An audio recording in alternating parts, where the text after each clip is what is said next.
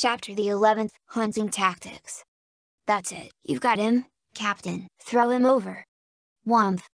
I found myself slammed bodily into the ground for what had to be the tenth time that day. An unarmored Synthesis stood over me, panting hard, sweat making his light mane hang limply. Steel grey eyes glimmered in the sunlight, regarding me with about as much expression as a blank piece of paper. Hard enough, the surrounding circle of ponies were cheering and stomping their hooves, egging us on. I responded by surging back to all fours and taking off from the dirt like a furry rocket, cracking his jaw back with a ferocious headbutt. The officer reeled backwards, before quickly rolling to his side as I roared past him, missing him by inches. We spun around, and faced off, each crouching low and breathing heavily, sweat and dirt matting our coats. The dust raised up from the fight swirled around our legs and I whipped my tail to and fro to clear it away. He charged forward, head lowered so that his horn pointed out like a spear. I lunged to the side, feeling the rush of wind that followed. He overshot me, but with a speed that was somewhat frightening, he wheeled around and accelerated to full speed. This time, I met his charge with both paws raised, catching him by the sides of his head. The sheer force of his momentum made me slide backwards several feet, my rear claws scoring deep furrows in the ground. I violently twisted my grip, and with a mighty heave, sent him spinning through the end over and through the air. He was suddenly swallowed in a soft golden aura, and his flight was magically halted as he landed neatly on all four hooves. Synthesis nodded and gave a frighteningly perky smile. Excellent, you're quick on your paws, even though you're substantially bigger than I am. I admit, I haven't had an opponent like you for years. Now, that headbutt actually took me by surprise. He laughed, and it sent a shiver or two down my spine. Now, You've gotten a taste for a seasoned Earth pony Guard, but what if I throw magic into the mix? Can you handle a skilled wielder of the arcane? Shit. The captain's golden horn suddenly flashed like a paparazzi camera. The light burned my eyes and I quickly closed them, shaking my head in frustration. A concussion of hot force abruptly impacted on my side, sending me tumbling through the air to once again slam into the ground. I rolled with the impact and quickly regained my footing, spots dancing through my vision. There was another flash, but this time I was ready. I instinctively ducked backwards, tail tucked between my legs, and felt the heat from another hot blast pass over the top of my head. The sudden noise of hoof steps thundering toward me was all the warning I got as a muscular body rammed me straight in the gut, flipping me over and right into the dirt. I twisted to my right, and felt the impacts of two hooves striking the ground where my head had been a mere second before. I kept rolling, and pushed off the ground with my powerful arms, the force carrying me several feet away, where I managed to land on all fours. With some distance regained, I have precious few seconds to think. I was blinded, but I and other senses I could take advantage of now, thanks to my new body. I saw another flash through my closed eyelids. I had to change tactics. I'd gotten lucky with that last dodge. I pricked my ears up and listened as hard as I could. The sound of quickly approaching hooves came from my left. I tensed and pinpointed his position with my sensitive hearing. There. I sprang straight up, as high as I could, and came back down like a thunderbolt, blindly landing on something solid, crushing it into the dust with a superb flying elbow. I quickly pinned him down, and held him firm, despite his mighty struggling. Another flash, I could actually feel the heat on my body from the proximity to his horn, but his efforts were in vain. The pony beneath me suddenly stopped struggling, giving an exhausted grunt. Ha! Ha! Good job! Now let me up! I moved off him, still blind, I sat back down on my haunches, savoring the feeling of my strained muscles and a well-earned victory. I felt a hoof clap me on my shoulder. Don't worry, you'll get your sight back in a minute or so. His voice became fainter, he had turned away from me. Now, did you notice the tactics I used, everybody? He is a higher center of gravity than you, sir, so you hit him low. Distraction and diversion? Using your greater speed to your advantage, sir.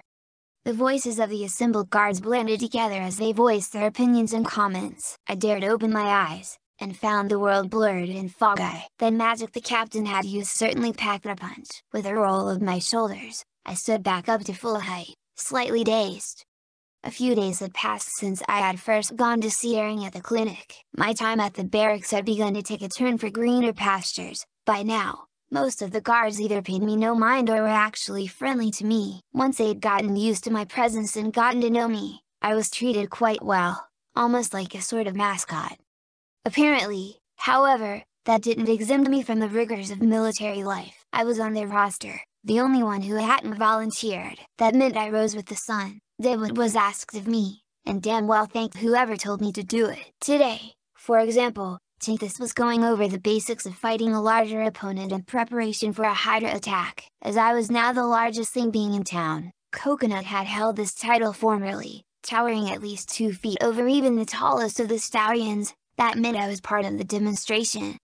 Tethys utilized his years of experience in the Royal Guard, on top of a startling tendency to bounce back from anything I gave him, probably something to do with his cutie mark, a shield with a red cross, to pound me into the dust at least a dozen times before I'd finally managed to pin him, and he'd been holding back, too. I now had a healthy respect for Princess Celestia's personal protectors, they knew what they were doing, and if the rumors were true, Princess Luna's bodyguards, the magically enhanced Centurions, were even more dangerous, albeit much less numerous.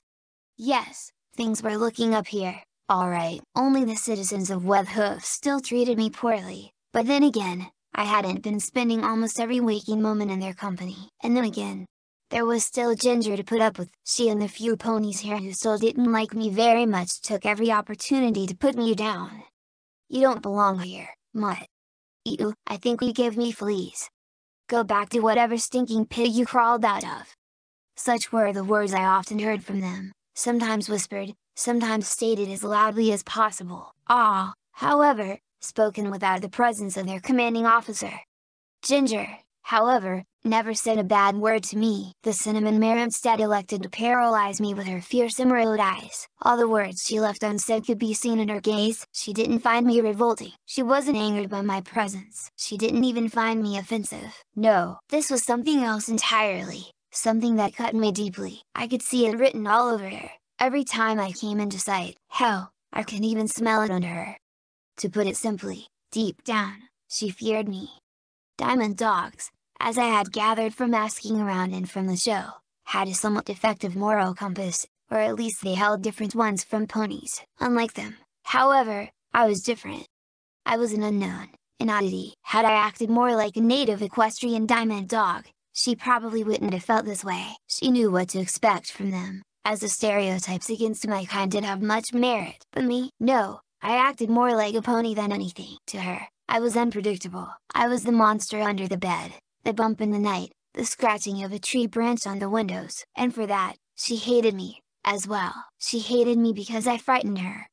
This, above all other things that I had been through already, shook me to my core. I did nothing in retaliation to the taunts and jeers, the subtle rudeness and the open discrimination. And yet, because of that, because I acted in a way that wasn't normal, I was tormented further. It was maddening. But there was nothing I could do but sit out the storm. Eventually, they would accept me. Time changes perspective, and perspective is the key to everything. I sighed and blinked rapidly as I cleared my vision. The dusty, packed earth of the training ground behind the barracks came into focus, as well as the group of guards being trained today. It was with some satisfaction that I recalled that a few of them had been cheering for me during the demonstration. I smirked despite myself. I'd obviously given the captain a run for his bits, that's for sure. I retrieved my tattered sweatshirt from where I'd tossed it on the ground, brushing off the dust that had accumulated on it, tossed up from the fight. Tethys was now in the midst of demonstrating the proper technique of the low, swiping kick that knocked the legs out from under an opponent. I leaned back against the barracks wall, my aching muscles screeching in protest. A Pegasus suddenly alighted in the middle of the training ground, breathing hard. She wore a satchel over one side, and I instantly recognized her as a mail mare. Sadly, she wasn't the adorable cross-eyed klutz we have come to know and love. Nevertheless, judging by the circle that had gathered around her, she was causing quite a bit of commotion. I heaved myself off the wall and strode over, curious as to what was going on. Letter for Captain Tethys, commanding officer of the Webhoof garrison. The mare was calling, straining to be heard over the gathered ponies. The veteran shouldered his way out of the circle, and stood before her, throwing a sharp, quick salute. The mail mare bent down and retrieved a single sealed scroll from her bag, a multicolored wax stamp, emblazoned with a crest I couldn't make out, proudly adorned the document. A murmur went around the crowd. Tethys took a step forward and pressed the tip of his horn to the seal, which began to glow a soft white hue, before vanishing. The scroll unfolded slightly, and Tethys took it from her grasp in a telekinetic aura. Interesting, that looked like a sort of magical identification spell. Is it possible that ponies have unique magical auras, similar to human fingerprints and retinas? Straight from Canterlot. Sir, sorry about the delay, there was a massive chocolate rainstorm blocking the flight paths until a few days ago. The last of Discord's work. The mail mare returned his salute, and quickly snapped her wings down, speeding off into the sky, on a northwesterly course. A few of the ponies watched her go, but most were glued onto Tethys, who had unrolled the letter and was busy scanning the contents. His steely eyes suddenly lit up in a completely alien expression of joy. They did it! Discord's been defeated, he cried. The gathered guards set out a deafening cheer, some actually hugging each other in glee. I silently laughed despite myself, had known this would happen, but this was the first time that the ponies here knew of it. I found Coconut suddenly next to me, a stupidly happy grin on his face. He offered up a chocolate hoof, and I gave him a smug fist bump. Hold up, hold up, there's more. Tethys pursed his lips as he continued reading. Well well well, listen to this. Your request for additional reinforcements to the beleaguered settlement of Weathhoof has been approved to deal with the local Hydra infestation. You are given full command and responsibility over the incoming forces upon their arrival, which are detailed below. Signed, Princess Celestia. That put every everybody from ecstatic to absolutely bananas. Wild cries, punctuated with whoops and hollers of joy filled the air. A few even took off their rugged helmets and tossed them up in the air, like at a college graduation. The atmosphere was intoxicating, and it was as if a veil had been lifted I hadn't noticed before. I'd only seen these faces with the threat of danger hanging in the air, but now, with the promise of salvation on the horizon, it was like looking at completely different ponies.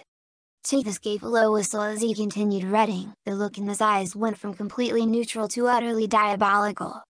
Ginger Snap, Echo, Baritone, Sparky, come with me, he suddenly barked. Cloud9, organize a light skywatch for the day, then join me in my quarters. Keep the shifts small, the rest of you. Enjoy yourselves, spread the word to the village. The crowd rapidly dispersed towards the town, with the exception of a few Pegasai that Cloud9 had chosen for watch who vaulted off into the sky. The ponies that Tinkus had called remained, myself, Ginger, and the three others, who acted sort of like lieutenants for their respective species in the guard. Baritone, a charcoal earth pony stallion with a namesake deep voice. Sparky, an electric yellow unicorn mare had a visible twitch in his stutter. And finally, Cloud9, a very pale pink Pegasus mare with soft, downy wings and a surprisingly feisty personality. We quickly followed the captain into the barracks, as he was trotting at a swift pace. Was that a spring in his step I saw? Regardless, that probably didn't bode well for us. I exchanged a glance with Baritone while we walked. He shrugged, indicating that he had about as much of an idea what was going to happen as I did. He was the pony I was on the best terms with here, and outside of Coconut he was also the most friendly to me. The others, outside of Ginger, were indifferent. Proceeding across the main hall, we entered the south wing and went down to the very end of the dormitory, where the captain in his room. I had never been in there before, and was curious to see what it was like. You can tell a lot about a person based on how they keep their possessions. We passed through the threshold of his door, as he held it open.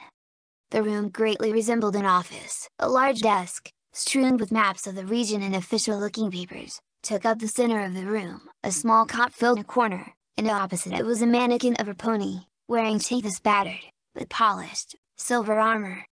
We stood in front of the desk, and the captain walked around it to face us. He took a somewhat shaky breath before laying the scroll on his desk. Let me be perfectly frank with you all, we aren't out of this yet, not by a long shot. If anything, the incoming troops are only going to accelerate us towards a possible destruction. He paused and opened a drawer to his desk. In light of this, I have decided that some changes are in order. Baritone, Sparky, Cloud9, step forward. The three ponies did as asked, coming right up to the desk. Ginger and myself stood a few paces backwards. I tried very hard to stay perfectly still, conscious of the sidelong look she was giving me. Tethys laid three shining medals on the desk, each in the shape of a golden horseshoe entwined with ivy. By the power invested by my rank, I Captain Tethys, commanding officer of Weathhoof, former member of the Sun's Watch, Declare each of you three equally deserving of this promotion. He picked up the medals with a soft glow and presented them to the three. Take these and be recognized for your service to the crown as sergeants of the Equestrian Guard. The three solemnly nodded and received their medals, murmuring their thanks. They each struck a salute, which the captain returned, before stepping backwards. Tethys nodded. Good, now that that's out of the way, we can finally begin preparations for the extermination. I cocked an eyebrow. Bad damn time he told me what the hell he was hiding up his sleeve. Tethys strode over to the far wall and pulled down one of those roll-up maps, this one of decent representation of Weatherhoof and the surrounding area, with the recent alterations to the land accounted for. Sparky, what's the status on the Summer Sun Festival fireworks? Have they been stockpiled yet? The jumpy mare twitched a little. Aye, sir. We we we've got the deposto stocked to the brim.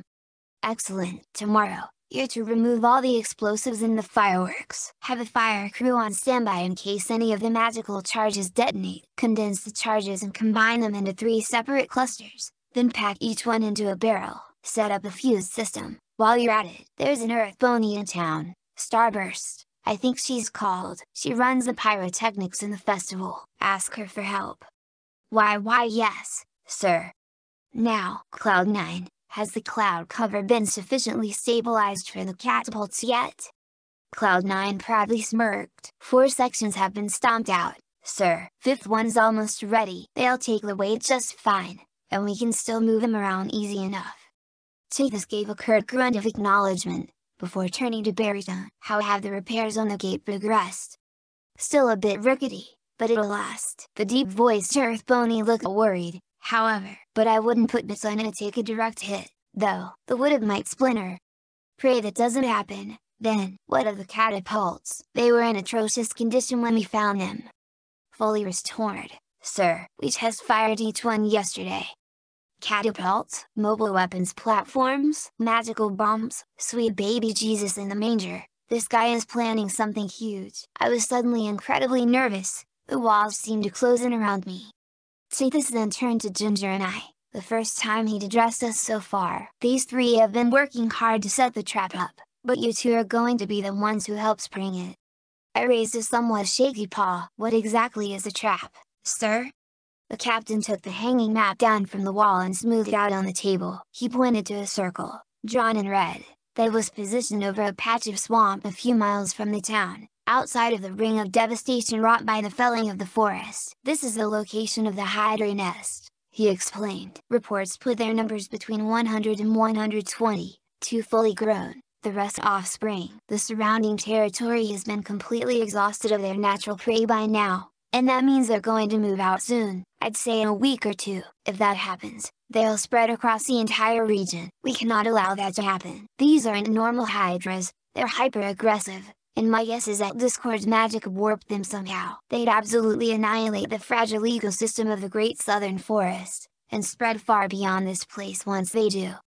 So, we're going to stop them here. He pointed a hoof to a spot a short distance from the western wall of the town. A small X had been drawn there, with two other X's on either side of it, mimicking the layout of the wall. He poked each one with a hoof. The three magical charges I mentioned before will be placed here, here, and here. The catapults, stationed around the area on clouds, will pin the hydras against the wall, trapping them between a rock and a hard place. Simply put, the combination of the catapults, weapons fired down from the wall, and the charges, will leave nothing of them but a smoking crater. The incoming reinforcements will cover the flanks on either side of the open ground, and make sure that none of the hydras slip away.